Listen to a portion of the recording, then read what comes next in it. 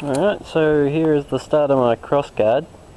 I've just found a piece of scrap bar. It's uh, going to be wide enough at the block and long enough, as well as, of course, thick enough. Uh, it's not going... Okay, so I've marked out where I need to drill for the tang to go through, and I'll be drilling few more holes in there and uh, using a file to clean up the thickness.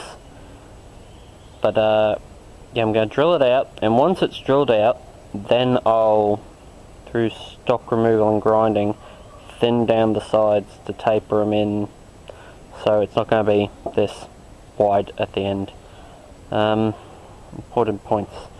Uh, a pen is not really accurate enough for this kind of work, so a uh, one of these scribing things, whatever they're called, is what I'm using just because it's more accurate when giving me points. And uh, yeah, it also gives me a point and a little divot for the drill to be in when I start the drilling, but my drill is pretty much dead at the moment. Alright, now the reason why I leave it thick is in case my my hole's a little bit off, I can just count, I can just correct for that when I grind the rest of the, yeah. If my slot is a little bit off, I can correct for that in the grinding to bring it back in line.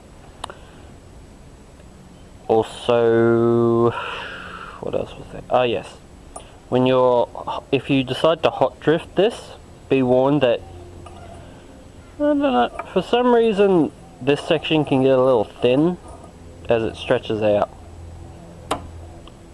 In, like, so you end up having a bow or a dip in the middle of your crossguard. I've had it happen before. So, something to keep in mind. To remedy, remedy that, I'd say just go with thicker material and grind it down so even if it does bow you can just grind it flat. So I've drilled out uh, the width of the tang into the crossguard uh, and I've kind of rounded the insides of it. I just used grinder on a low setting with a thick grinding wheel just use the radius of that to inset it a bit because we don't want sharp we do not want sharp 90 degree angles at the base of our sword because that would be creating a weak spot or a point where uh, stress would be focused. Now to reset to recess the blade a little bit deeper I've put it in, lined it up straight and went around it with a sharpie or a permanent marker uh, looks a little wonky, I might have to double check that before I grind it. What I'm going to do is I'm going to take some cut off discs, because they're nice and thin, and I'm just going to cut in so that there's a slightly lower platform on the inside. So that the edge of the blade can just sink down below the level of the cross guard. For the grip, I'm doing it as a stacked um, three layer cord wrapped, leather wrapped uh, grip. So I scored out the outline of the tang onto this piece of wood. Got some 6 mil thick wood, ran it from point to point so the outside is a nice straight line. But uh, the inside of the tang is not totally straight so instead of thinning down the tang which would make the sword weaker I've after gluing it and letting it go solid I've replaced the tang over the top of it and I've scored out what material I need to chisel away so that the tang will slide in a nice tight fit. Once I've removed that I've cut it off so that it's in line with the crossguard I'll make sure it fits nice and tight and then I'll glue the third layer on top and then we can look into cutting it out, shaping it, cord wrapping it, and leather wrapping it. But yeah, I'll just take this out with a chisel nice and carefully. I've got my um, handle section cut out. I'm going to put 5 minute epoxy on it, place on top of the other piece, and clamp it down and leave it to dry. And once it's dried then I can start shaping it.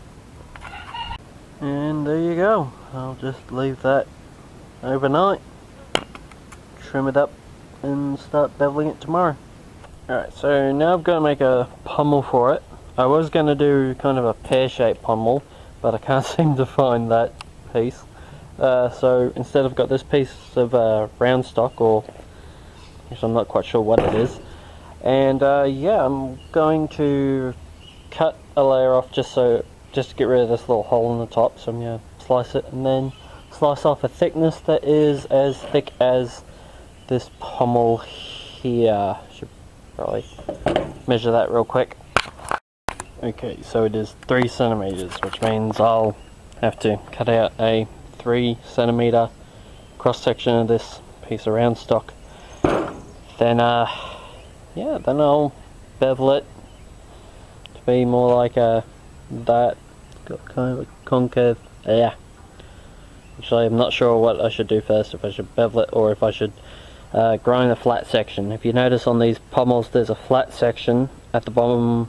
There, there's a flat section where they transition to the grip, so that it's nice and flush. So, I think I'll grind a flat section and then when that I've got that flat section I can then drill a guide hole straight down through the middle and then that'll make driving a wedge into that a bit easier because well I could grind down the tang of this sword till it is six millimeters round but that would make the blade, uh, that would make the sword a lot weaker overall. So what I'm going to do is I'm going to get a 6 mil thick piece of steel. I'm going to trace out the tang onto it, cut it out so it's another piece of 6 mil thick steel, same kind of taper as that. I'm going to, well, it'll be a bit longer because I'll need a handle. And I'm going to heat up the pommel and drive that through it so that the pommel should slide straight over the tang. And then come out the other end and I can pin it down. Okay so I've why does that rooster always go off as soon as I start talking? I, I don't know. Alright so I've glued on the top half let it set overnight and you know I've cut off the ends. And it's such a tight fit that I have to get it on with a plastic mallet. So I'm happy with that tightness. I just gotta figure out how to get back off. I'll probably have to use a plastic mallet real carefully on the cross guard work it off. Then I'm going to round the edges and of course make it a lot thinner in you know want to reduce it in that thickness we're going to use combination of my flap discs and belt sander. I'm thinking of a relatively rectangular grip, kind of like this other long sword I've got. I believe this one's made by Hanwei. So yeah, I'll have to uh, even it up. It's meant to have a bit of a taper to it. So I'll thin it out, give it a taper with the grinding, round the edges, make it nice, and then we we'll be ready to give it a cord wrap. Okay, so I've smoothed up my handle. It's got a bit of a distal taper. It's a bit thicker in the middle and it tapers down both sides. But it's got a kind of a V shape overall. Now, I've done this thing, I'm not sure what to call it. I've taken some thick leather, I've cut a thin strip of it. I've super glued it on and wrapped it around. That's so after I've done my cord wrap, and leather wrap, it'll have these raised sections like on this other long sword of mine.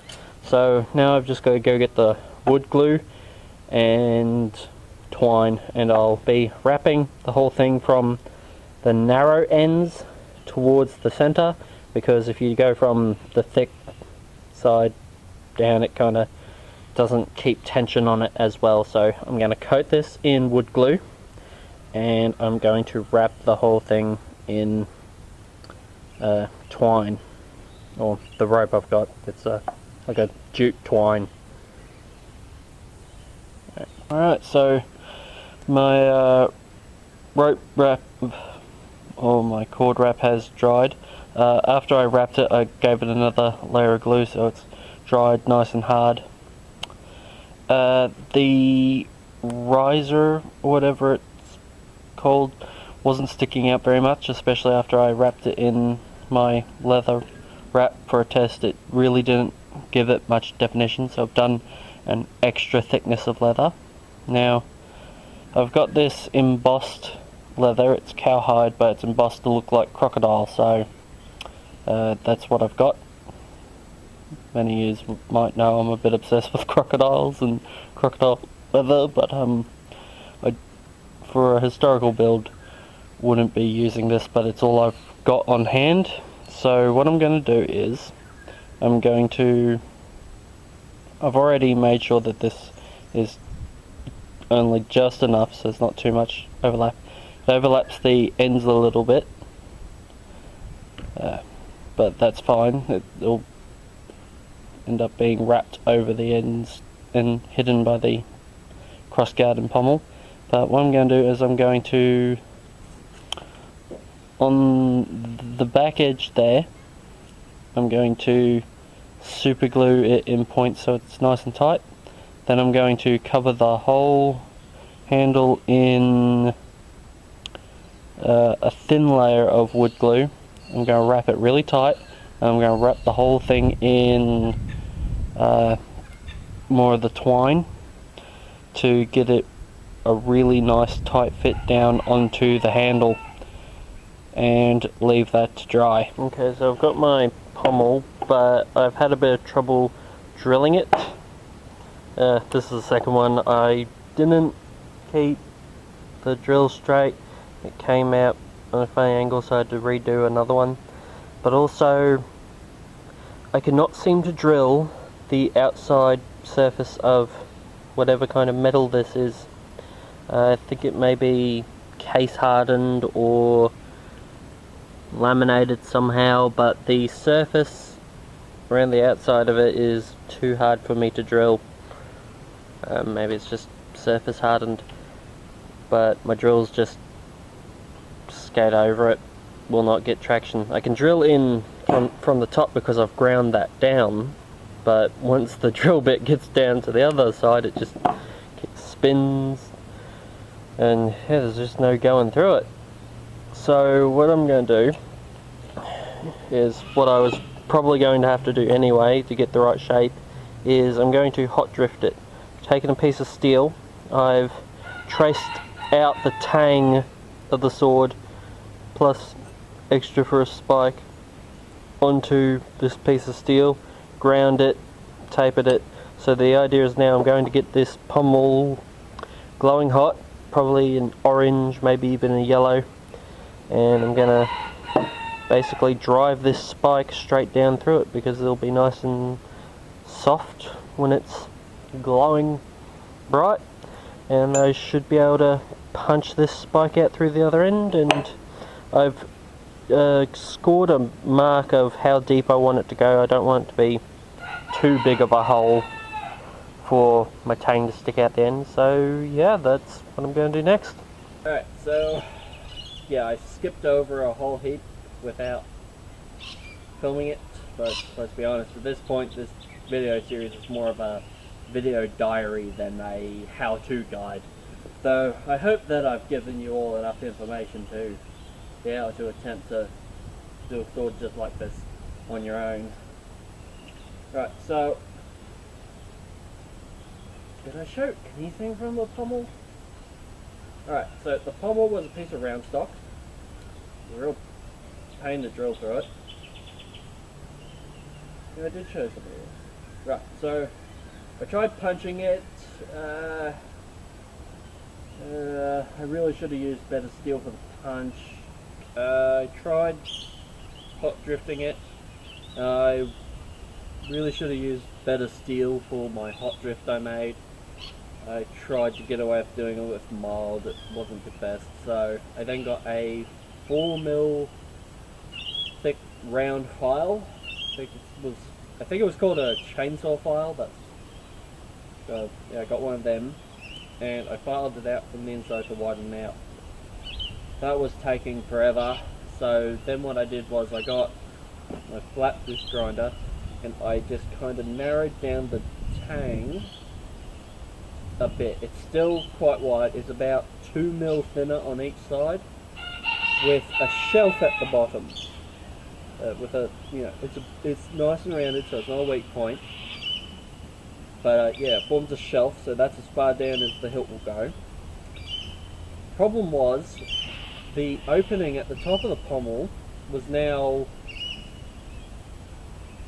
quite a bit wider than the tang that I was going to pin down. So in order to pin it down enough to get enough material over the side to hold it in place, I had to move a lot of material from the tang and pin it. However, this material does not seem to like being pinned. It work hardened and started to fracture and crack and chip off really quickly and it doesn't really move very well. I had the blade in a post vise with wood on either side to stop the teeth of the vise uh, marking the sword and when I'd hit the top of the peen the hilt would loosen up. When I started off it was rock solid, on nice and tight. The actual friction of the grip was holding the guard solid. So it would constantly have to hammer down on top of the pommel to retighten the grip and it was a bit of a nightmare. It took way longer than it should have. So that's probably the thing I'm least happy about in this whole build to be honest. My job at peening. I'm having great luck with that. Uh, so I've learnt that I need to make the hole in whatever I'm peening almost flush or really close to the outside of whatever I'm going to be peening onto it. That way I only have a little bit sticking out, I only need a little bit sticking out, therefore I don't have to move as much material and that would be a lot easier than what I ended up having to do with this. I had to go out and buy a propane torch to anneal it repeatedly. I'd hammer it a couple of times, it would harden up, I'd have to, yeah, anneal it again. Such a pain and I'm not really happy with the end result.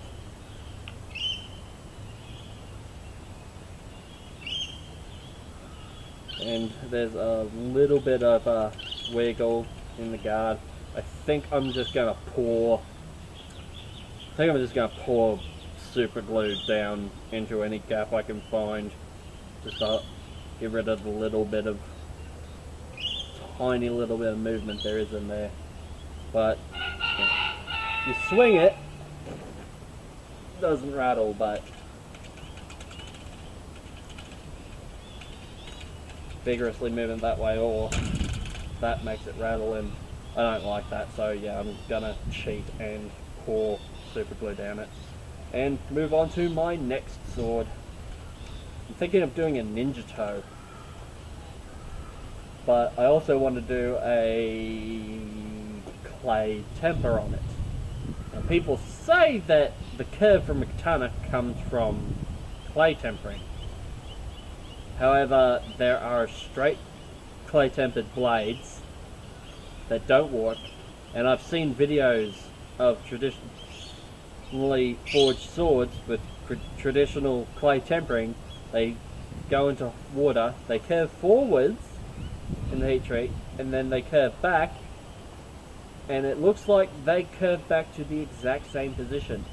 And another thing you'll notice is if you go and look up videos of or pictures of Japanese sword masters painting the clay onto the swords before the heat treatment, uh, you'll notice a lot of them are already curved. So I think that might be a bit of a misunderstanding. Yes, you can curve a blade by heat treating it if, say, if one side of this blade is colder than the other when it comes out and you go to quench it, it will curve towards the colder side.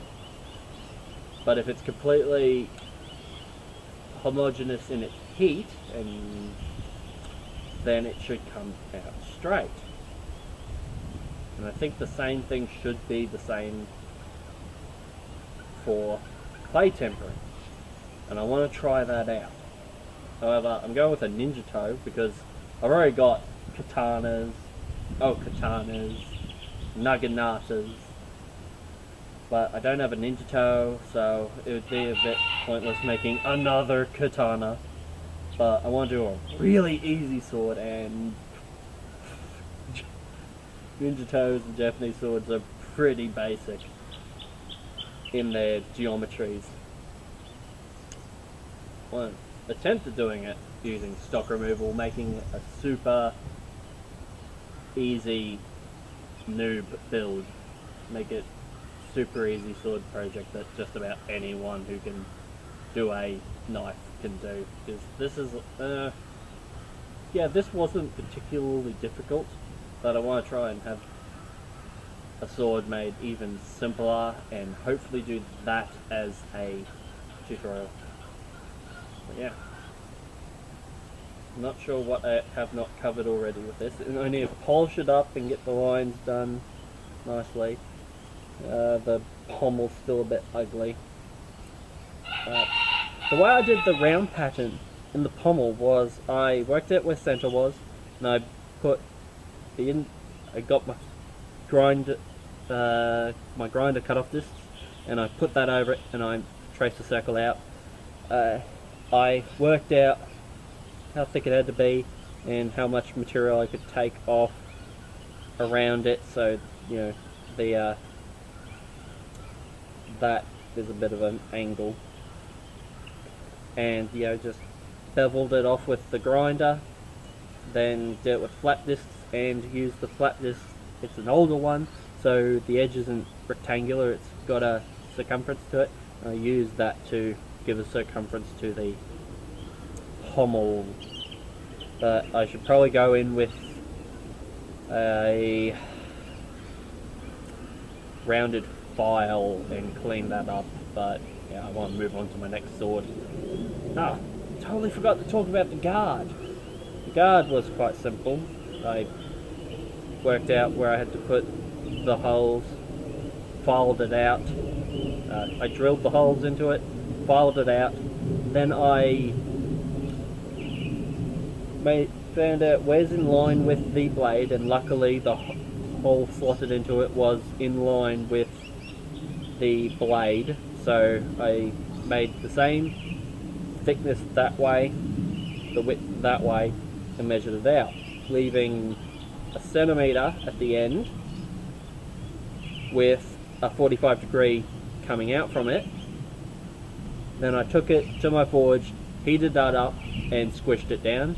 So that way it's a bit it widens out a bit in that direction and in that direction. And you know it's a little detail but I think it makes it look nicer. Of course um pretty sure I already covered that uh it is recessed a bit to hide the radius in the transition from the blade to the tang yeah I added a little washer at the end in there. It's a bit unsightly. I really didn't need to. I thought it would make it look better. I think I should take some permanent white marker and just uh, darken the edges because now it's you know it's cut leather. You can see the areas that aren't dyed. So I might just take a black permanent marker and re-blacken them. But yeah, I'm very pleased with it. Well, not very pleased, but but um, I'm okay with it. It's a decent sword. It's my first sword, so I am quite a strong critic of my own work, and I've learnt a lot building this, and I've learnt how to do things that I didn't know beforehand, and yeah, my next sword should be better, hopefully. Uh, and for those who are interested, the point of balance is there.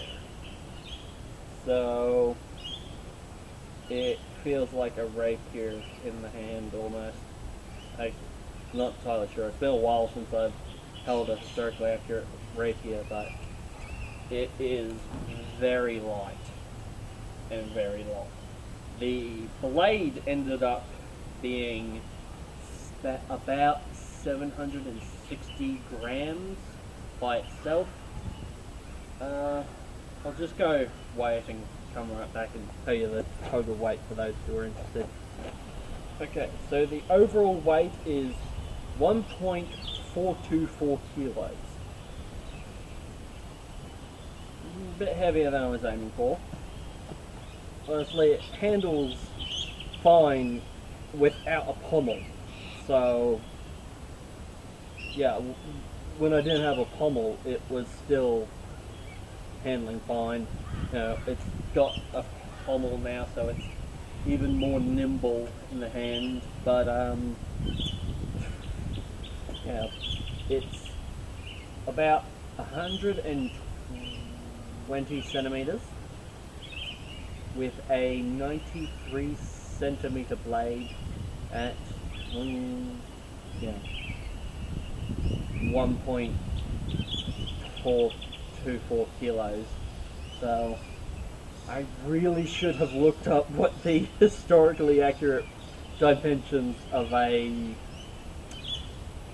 Oakeshott Type 15 longsword. Uh, so I think this might be uh, Type 15A. Oh, god, I didn't do the most research on this. I'm, pretty familiar with swords, so that's one of the things I'm a bit mm, disappointed in myself about. I didn't do more research on this actual particular style of sword before making it. I should have had all my specs on the dimensions of a historically accurate Type 15A longsword before I even started. But, you know, I just knew about these swords, have seen tons of them, have experience with long swords and handling other kinds of swords, and you know, I just kind of winged it. Real. So, yeah, bit disappointed in myself. I should have done more research, but I, I think it, you know, turned out all right. Of course, it doesn't look historical with that crocodile embossed leather grip. So I reckon it does look nice.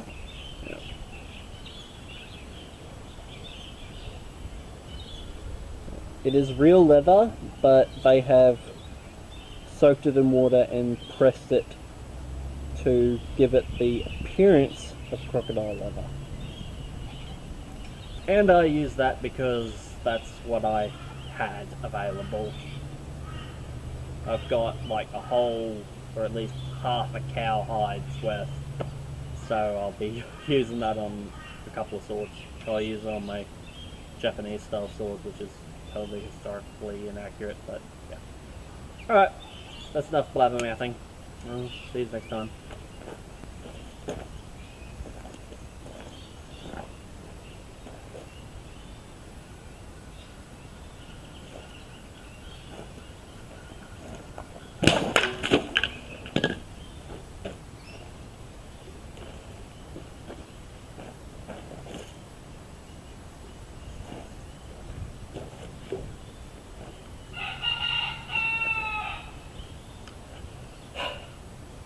Enjoyed. Uh, please leave a like and a comment.